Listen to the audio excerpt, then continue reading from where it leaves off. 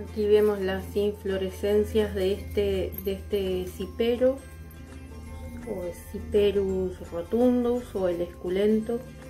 Eh, vemos que tiene como una especie de, harina, en realidad son sus semillitas y estas semillitas las podemos utilizar este, en un pan como para hacer un eh, salvado. Y esto es una piña como conocemos normalmente que son los conos del, del pino que cuando caen están cerrados y después se van abriendo. Y a medida que se van abriendo van soltando su semillita que tienen. Eh, esta semillita ahí son pequeñitas son como son semillitas son súper nutritivas y en este caso tienen como una hojita que se llama sámara.